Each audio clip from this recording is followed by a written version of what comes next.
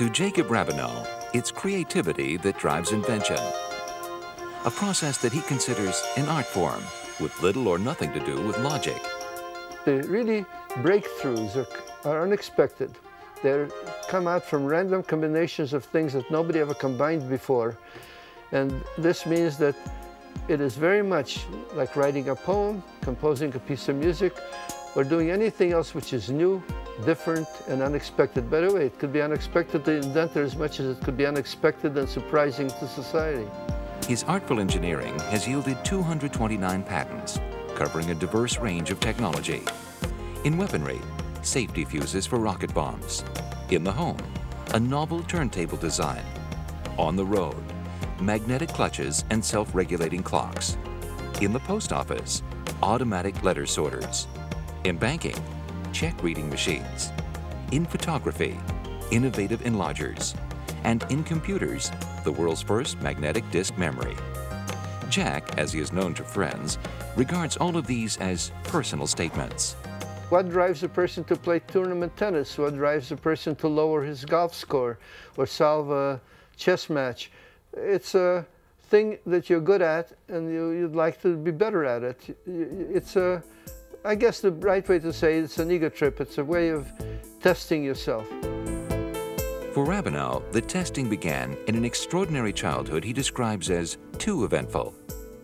Born Jacob Rabinovich in 1910, he and his family lived in European Russia and Siberia for his first nine years. Fleeing the revolution, they moved to China, where more calamity awaited. Typhus claimed his father's life. His mother immigrated to America with Jack and his brother David and opened up a modest corset shop in Brooklyn. They were so poor for the first two years that they lived in an apartment with no hot water, no bathtub, and no toilet.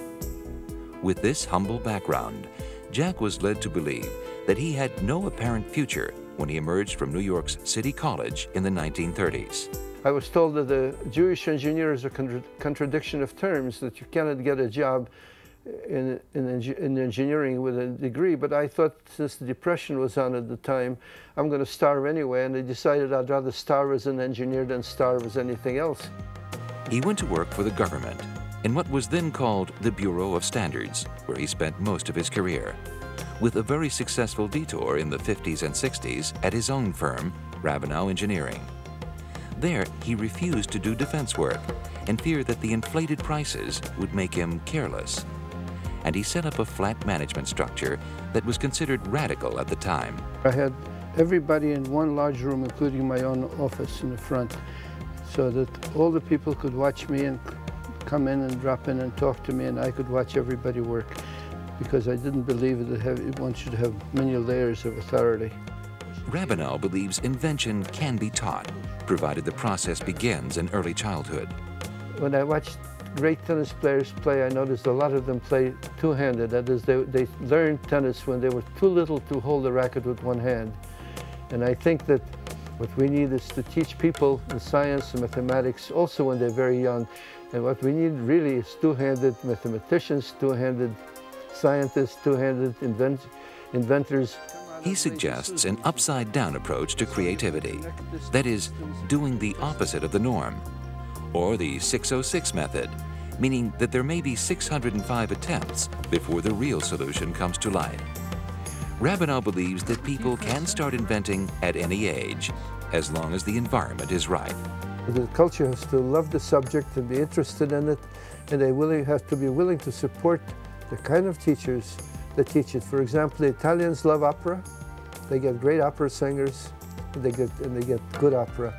Uh, the Europeans love to play soccer. They have great soccer players. South America has great soccer players. We love basketball. We have great basketball players. If we loved science as much as we love basketball, we'd have some very much greater, maybe I should say taller inventors, not only two-handed, but seven-foot inventors.